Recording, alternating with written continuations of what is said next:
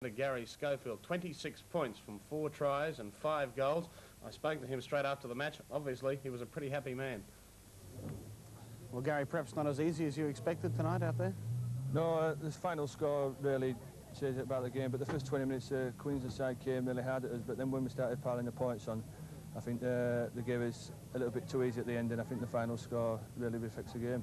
Well, it wasn't a bad match for you, was it? No, it wasn't a bad. I scored four tries, but I couldn't have done it without the rest of the lads who were on, on the part there. I, I was just uh, for the end of the end of the pass and just going into the sticks.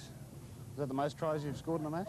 Uh, yes, it is. As a professional, it's the most tries for, and uh, I'm very pleased to score four tries, and obviously not pleased for myself, but obviously for the team as well, as the second test is coming up a week of Tuesday, and hopefully we can build on this coming prior to the test.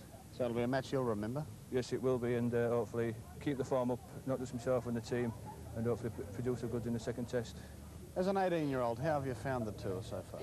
I've found it very enjoyable. Obviously, the Australians, I've never played against them before. It's uh, very physical out here, but I've got to get used to it out here, and uh, I think I'm coping quite well.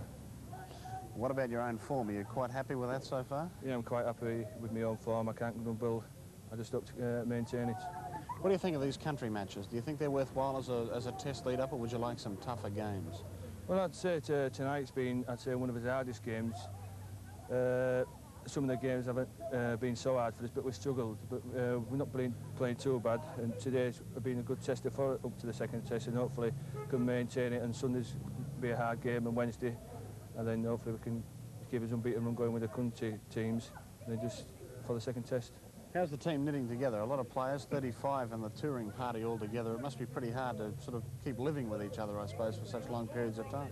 Well, it's the opposite way around, really. The team spirit is absolutely sky high. Everybody's spoken in. We're all one big family. We're away from home for a long time, and that's what we have to be. There's 35 of us, as you say, and we're just one big happy family at the moment. There's no disagreement at all. We're just going great guns at the moment.